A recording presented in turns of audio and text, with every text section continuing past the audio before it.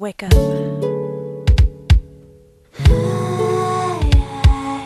You're beautiful.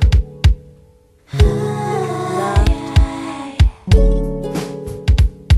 And blessed. Corey AllenX here. This is a video response to B. Scott's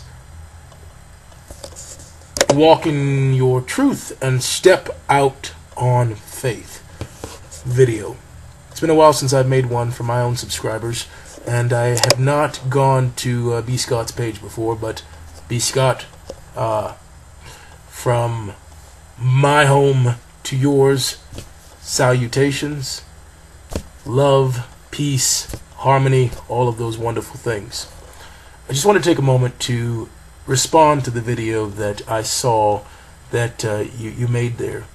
And I, I just wanted to say that I I believe firmly in the power of positivity, in the power of naming and claiming your destiny, and also in speaking your truth, living your truth, being your truth, and having the courage and the fortitude and the audacity to dream bigger, bolder, brighter than you ever thought possible. I have a, a unique opportunity. Uh, I'm at work with a lot of younger students at the university in Illinois. And one of the things that I see that really saddens me, that I've talked about extensively on other videos of mine, is the fact that so many of our young people are afraid to dream. And not only our young people, but so many of our grown folk are afraid to dream, are afraid to try something new, are afraid to say, you know what, that's who I was back then, but I am going to make a new, a new start, a new beginning.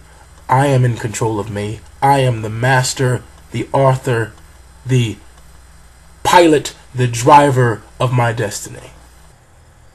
I think all too often we forget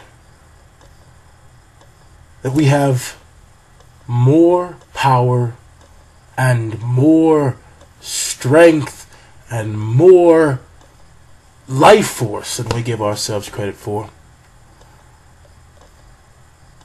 I see so many people who are bogged down by the mistakes that they made yesterday. So as a type of quota to what you were saying about needing to understand that tomorrow isn't promised to you. That next year and that next week, that the next hour isn't promised to you. I think that we also have to remember that yesterday's done. What happened yesterday, you no longer have control over. You can't go back and you can't fix it. You can't tweak it. It can't get worse than it was and it also can't get better. You have today, and today only, to live the way that you want to live, to be the person that you want to be, and to accomplish the things that you want to accomplish. I think so often we get caught up in these ruts, these cycles. And oftentimes we're in those cycles so that we can learn something, so that we can get something. But I want to leave you, your viewers, and my viewers with a little extra nugget. You provided a great, a great start to it. But I think that if you do what you've always done, you will get what you've always gotten.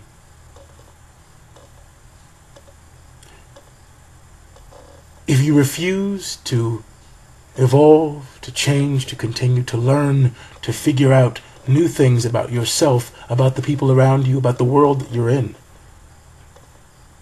and you want to live in yesterday, or in some cases, 10 years ago, you'll never be able to see what's on the other side of that mountain. You'll never be able to see that.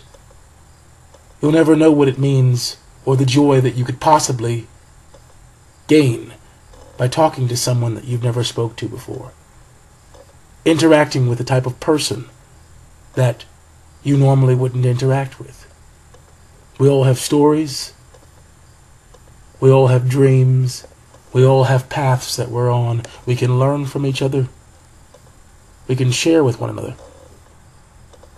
So, yes, dream, dream, dream. They used to say the sky is the limit.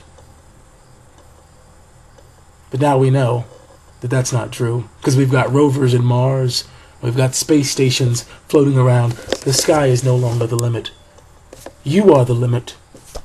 Dream outside of boundaries of time and space, and we can see things happen in a way, in a time, in a place that we've never dreamed of before. And so I just wanted to send you a shout out. I wanted to send you a thank you for your uplifting, powerful message.